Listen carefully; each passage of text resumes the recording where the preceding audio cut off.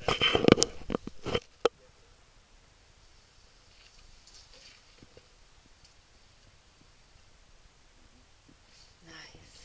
Great, so then once we get this animal uh, restrained like this, then